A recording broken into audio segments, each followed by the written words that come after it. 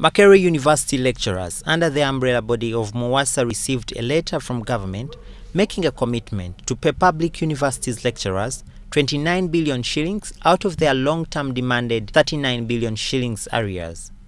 These lecturers are however skeptical on whether government will be able to fulfill its promise.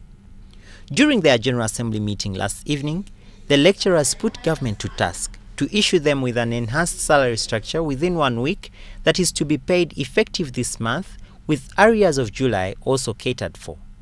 Failure by government to do so, they promised to reconvene the General Assembly for the way forward. An enhanced salary structure that is payable effective August 2018.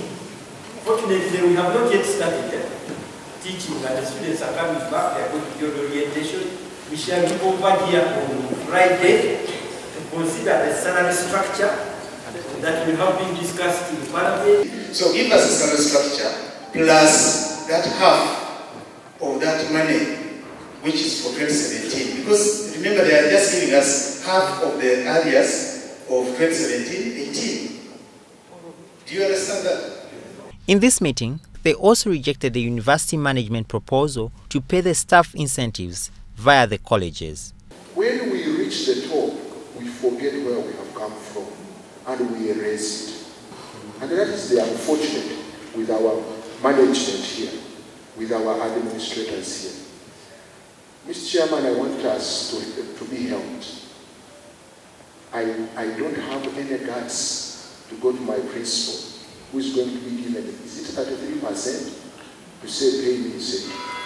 Incentive is a central universal management obligation. The other issue of contention was the procedures of employment at the university, citing that the appointment board is embroiled in a lot of anomalies. On the issue of employment system, staff noted that there are a lot of issues going wrong with the appointments board and other procedures of appointing and requested that this matter be given a, subs a substantive General Assembly to be discussed in detail. The General Assembly is to resume after a week to pass detailed resolutions. This report was filed by Jaliat Namwaya for Urban TV.